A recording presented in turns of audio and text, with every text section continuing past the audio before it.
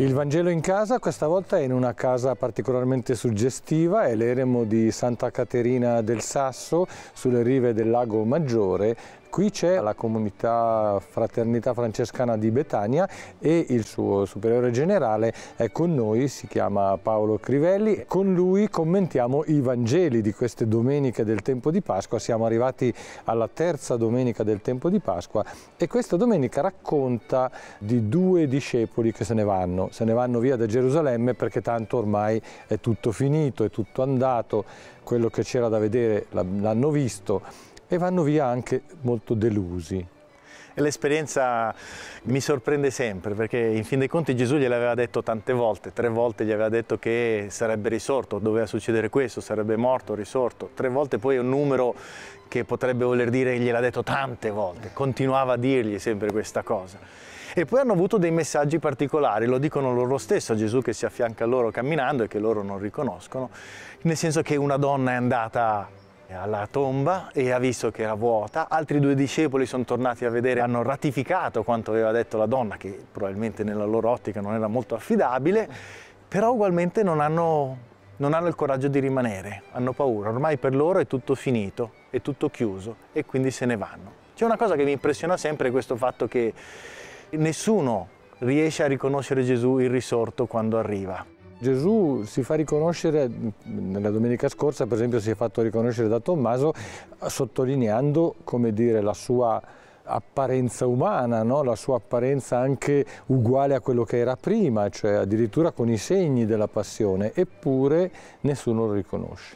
Per me questo è un segno molto importante, no? che ci dice come tante volte noi non riconosciamo la presenza di Gesù nella nostra vita ci sembra che non ci sia, ci sembra che sia lontano, anche noi nella nostra esperienza di fede possiamo essere delusi come discepoli di Emmaus e quasi sentirci anche noi di voler lasciare Gerusalemme, in qualche modo di voler lasciare la nostra vita ecclesiale, la nostra vita di fede, perché, perché dopo magari i momenti dell'entusiasmo iniziale, di quando abbiamo incontrato il Signore, adesso ci sembra tutto finito, tutto chiuso. E invece Gesù ci sta camminando a fianco, questa è la cosa straordinaria.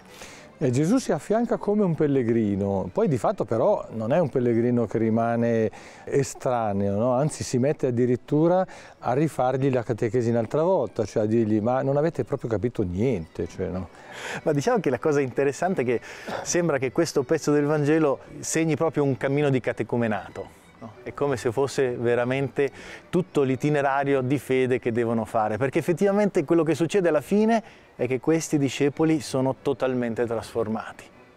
Quelli che erano paurosi, timorosi, torneranno di corsa a Gerusalemme di notte e non avranno più paura ad annunciare il grande evento. Che cosa succede? Gesù comincia a fare loro delle domande, anche questo è interessante, non è che comincia a parlare, dice ma di che cosa state parlando? Raccontatemi e loro stanno a raccontare la loro esperienza di quel momento. Ma forse tu sei così straniero da non sapere tutto quello che è successo. Questo Gesù che noi credevamo fosse un profeta potente, straordinario, è morto, l'hanno messo, lui ha detto che sarebbe risorto, però poi sono successe queste cose, ma noi non ci crediamo in fin dei conti. Quindi la prima cosa che fa Gesù è mettersi in contatto con le persone nel loro stato di fede di quel momento, accoglie quello che sono e poi da lì le prende, quindi le raggiunge nel loro intimo e poi le prende per mano e partendo dalla, dalle scritture più antiche spiega loro come tutto questo era quello che doveva succedere, non quello che loro pensavano, ma quello che doveva succedere era proprio questo. E fa tutta una grande catechesi, ma ancora non si è rivelato, è straordinaria questa cosa. Però in qualche modo l'esperienza di questi discepoli è coinvolgente, è coinvolta. Gesù fa finta di voler andare ancora per la sua strada e loro lo invitano a cenare con lui, con loro. Ed è durante la cena che si manifesta attraverso la ripresa di uno dei gesti che aveva fatto. E questa non sarà l'unica volta, perché se pensiamo che sul lago di Tiberiade eh, ritornerà a far fare una pesca miracolosa a Pietro, come aveva già fatto al momento della sua vocazione, questo fa capire che tante volte anche nella nostra esperienza di vita spirituale il Signore si rende manifesto a noi, il Signore che cammina con noi anche quando non lo riconosciamo, rifacendo qualcosa che aveva fatto nella nostra vita, ridandoci qualcosa della nostra esperienza originaria per far capire che Lui è presente anche adesso. Tutto sembra cambiato, ma stiamo camminando sempre con Lui. Tra l'altro questo brano delle scritture in qualche modo riproduce esattamente quello che succede in una messa.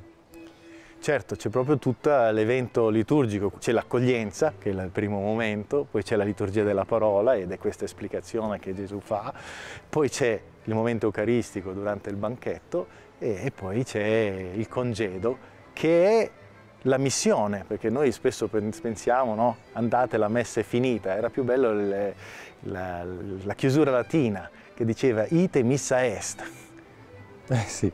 Andate che la messa è, è, la messa è quella, diceva Don Tonino Bello, è adesso, non è che è, è finita. che c'è dopo, sì. E, e, e, difatti i discepoli di Amos corrono ad annunziare, diventano discepoli, diventano apostoli, diventano annunziatori. Tra l'altro è anche qui molto bella l'esperienza per cui loro gli dicono a Gesù eh, fermati che è, è, sera, sta venendo la sera, no? come dire non vogliamo stare da soli no? in questa sera che viene. Sì, è un po' la sera della vita, quella cosa, no? lo dicevi prima, loro partono con queste grandi delusioni, con questa difficoltà, è un po' quello che noi dicevamo anche di questo sentirsi non più pienamente dentro l'esperienza religiosa, l'esperienza ecclesiale, un po' delusi, un po' abbandonati, è la nostra sera, non è la sera di Gesù. Però Gesù riesce a trasformarla non più in una notte, dopo loro affronteranno la notte correndo senza problemi. Ci rivediamo la settimana prossima, auguro ai nostri ascoltatori e ai nostri telespettatori una buona settimana in cui possano anche loro correre come corrono tutti quelli che hanno incontrato il Cristo risorto. Buona settimana.